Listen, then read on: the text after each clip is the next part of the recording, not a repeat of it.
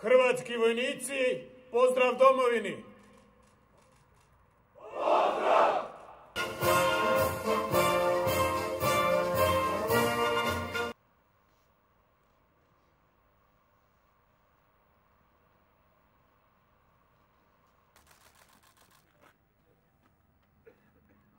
Pozor! Hvala! Poštovane obitelji, vojni zapovjednici, na čelu s načelnikom glavnog stožera, poštovani zaslanici, hrvatski gardisti, pume iz rata, pume danas. Sretan vam vaš dan, vaša obljetnica.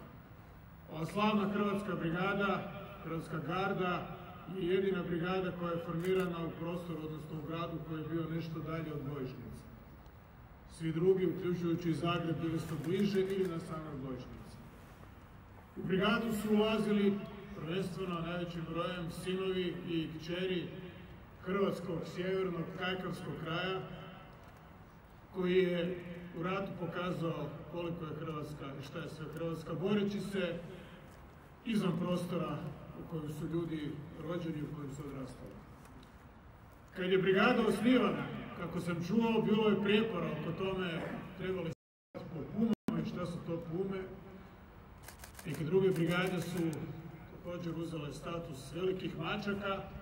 Međutim, lijepa ironija, pozitivna ironija sudbine htjela je da se pume upravo na svom vrhuncu dokažu u planinskim grletima Hrvatske i Bosne i Hercegovine u zadnjoj fazi rata.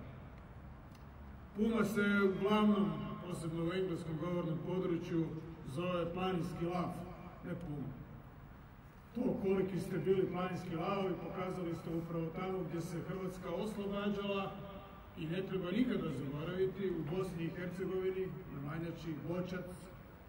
Spominjali su ih u svojim govorima neki od mojih prethodnika gdje je Hrvatska vojska i sedma brigada i četvrta Splitska donijela pobjedu u Bosnu i Hercegovinu i omogućila sklapanje mirovnog sporazuma koji je na snazi i dan danas i koji će ostati na snazi.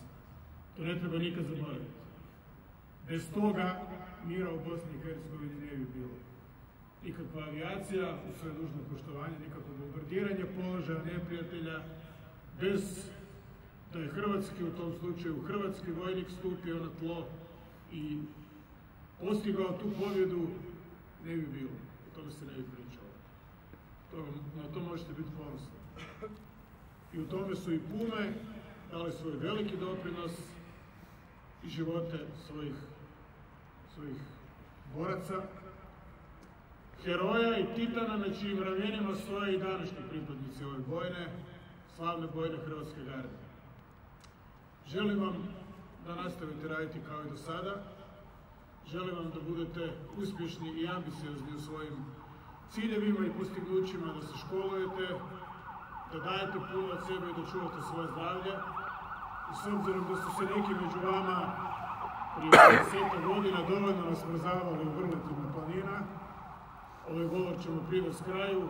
Zaželit ću vam sve najbolje i sretan Božić, sretnu novu godinu, zdravu novu godinu, domovini vjerni i živjeli planinski lavovi Hrvatska sedma brigada.